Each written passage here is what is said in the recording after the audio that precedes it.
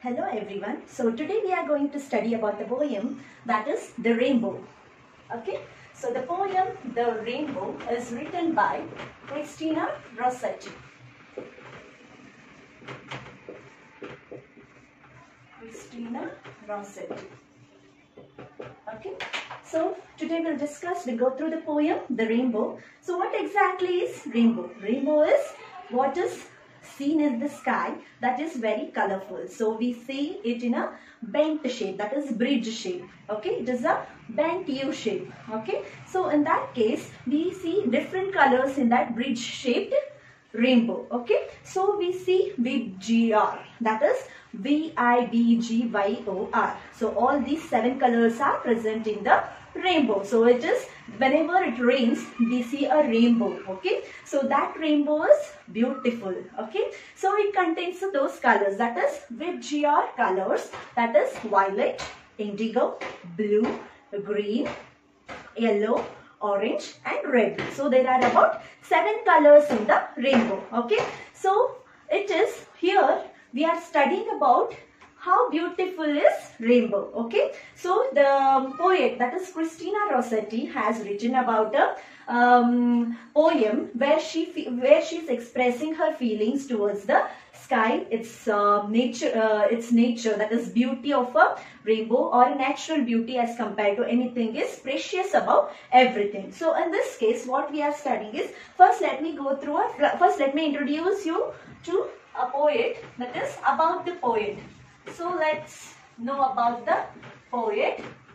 So about the poet, so poet is Christina Rossetti. So Christina Rossetti is basically, she is a English poet. Okay. So she is an English poet and she has written many romantic, devotional and children's poems. Okay. So she has written romantic, devotional and children's poem. And her uh, duration was from 5th December 1830 to 29 December 1894. Okay. So she is an English poet who has written many children poems. Also she has written romantic and then devotional songs. Okay. Or poems. So here we'll see what exactly is about the rainbow, what we are going to see in this poem. So I'll, I'll give an introduction. So here the poet that is Christina Rossetti has said that the nature is precious above all. Nature is beautiful. Okay. So what she says here is nature is we are blessed with nature okay natural things where man-made things are also present okay? But nothing matches the level of a nature okay? So in that case what she's trying to say is she is saying that whatever that is existing naturally is beautiful as compared to artificial ones. So artificial ones are which are the artificial ones? The ones which man made okay? The ones which uh, human beings make. So those are artificial ones so what here poet saying is, she is saying that the beautiful thing is the one that is present naturally as compared to a man-made. Okay, so man-made things here could be the bridges on the rivers. Okay, so river here is natural one whereas the bridge across the river is a man-made so naturally it is not present bridge right so that is man-made so when we compare bridge to a river what we find beautiful we find beautiful is the river uh, flowing across is beautiful as compared to a bridge. So in that way, she's given, she has given many such examples where she says about whatever that is existing naturally is beautiful as compared to a man-made things. Okay. So let's read the poem. Let's just go through the poem once. Okay. Boats sail in the rivers and ships sails on the seas, but clouds that sail across the sky are prettier far than these. There are bridges on the rivers as pretty as you please, but the bow that bridges heaven and overtops the trees and builds a road from earth to sky is prettier far than this.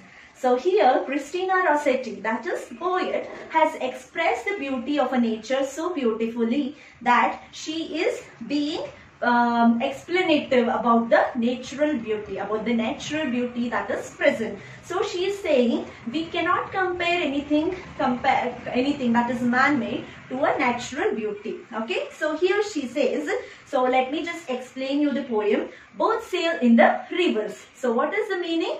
boats. So here boat is man-made. So we boat is not found naturally. It is man-made, right? It is artificial one. So it sails in the river and ships sail on the seas. So ships ships are also man-made. So rivers are natural here, sea is natural here, but the ship and the boat they are man-made. Okay. Okay. So what she is saying there is sailing. So both these boat and ship sail in the river as well as seas. Okay. But clouds that sail across the sky are prettier far than these. What she is saying here, the clouds that are present. So the clouds in the sky are also sailing across the sky, right? So what do we find more beautiful? We find the cloud, moving cloud find more beautiful as compared to river or sea. Okay. So as compared to, sorry, as compared to um, boat and ships. So boats are sailing and ships are sailing, clouds are sailing. So in this case, as compared to boats and ships, we find clouds more beautiful because that is natural. So when we see a clouds going through or passing through the sky, across the sky, what do we find? We find it so beautiful as compared to boats and ships. So she is saying are prettier far than these. So boats which are sailing across the river and the ships that are sailing across the seas, when compared to that, the clouds that are sailing across the sky are prettier. So she is comparing boat and ship to a cloud. Okay. So she says that the boat and ship are compared with the cloud where she says that clouds are prettier as compared to boats and ships. Okay. Then next, next stanza. So there are bridges on the rivers as pretty as you please. So there are bridges on the rivers, right? So we find them beautiful. They are also pretty. But the natural things that are present are more prettier. Okay. So there are bridges on the river as pretty as you please. So bridges on the river are pretty. But the bow that bridges heaven, the bow shape. Okay. So what is the, uh, here, the bow. What is the meaning of bow? Bow is something U-shaped. Okay. So here in the first stanza, there was a word sail. Okay. So meaning of the word sail is traveling. Okay. So traveling in boat.